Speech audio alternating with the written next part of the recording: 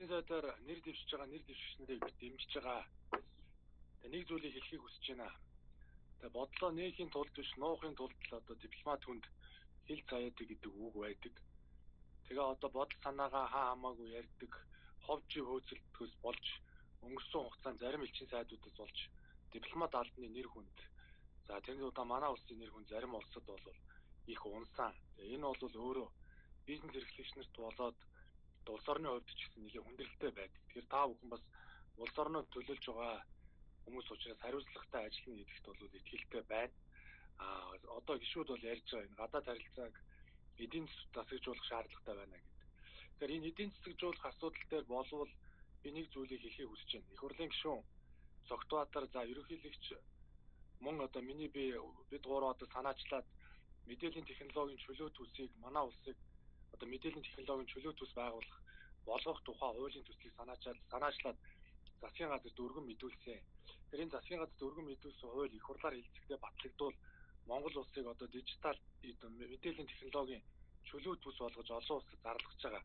Тэгээ энэ бол энэ элчин сайдуудад гадаадаас хөрөнгө оруулалт татах, оюуны экспорт хийх ийм болцоонуудыг нээж өгөх хууль юм аа. Тэгэхээр энэ хуулийг хэрэгжүүлэхэд анхаарна гэдэгт итгэлтэй.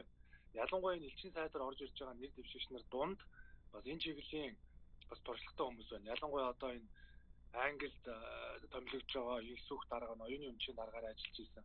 Энэ хуулийг одоо хэрэгжүүлж исэн учраас бас цаашлаад одоо оюуны экспорт хийхэд анцхан анхаарах хэрэгтэй баг.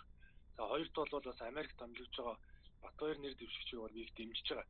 GCI гэж одоо олон улсын байгууллагын дэд ерөнхийлөгч бодлоо өсөж өгдсөн олон төсөл хөтөлбөр удирж исэн туршлагаас нь харахад бол өөрө мэдхийн хувьд манай улсад одоо энэ IT-ийн салбарт хөрөнгө оруулалтыг татах стартапуудыг дэмжих чиглэлээр Америкийн нэгдсэн улсын шинэ гарцуудыг нээхэд бас анхаарч ажиллана гэдэгт итгэлтэй байна.